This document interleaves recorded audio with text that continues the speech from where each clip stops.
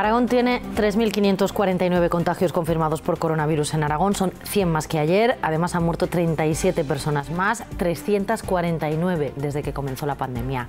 255 pacientes han pasado o se encuentran en cuidados intensivos y 659 han sido dados de alta, 81 más que ayer. En las últimas horas los contagios confirmados han crecido un 3% en Aragón. Desciende, sin embargo, el número de ingresos, pero se mantiene la ocupación en las unidades de cuidados intensivos. El Hospital Clínico de Zaragoza, con 270 pacientes por COVID-19, 51 en la UCI, sigue siendo el que más casos atiende. Aragón ha registrado 100 nuevos casos de infectados. Desde que se inició la epidemia ha habido 3.549 y 349 fallecidos.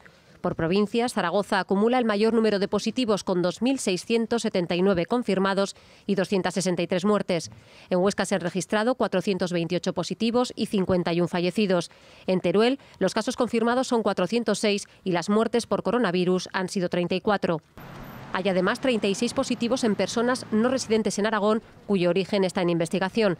En las últimas horas ha descendido el número de ingresos hospitalarios, pero se mantiene la cifra de ocupación en las UCIs. En los hospitales aragoneses están disponibles el 33% de las camas de cuidados intensivos y el 49% de camas en hospitalización convencional.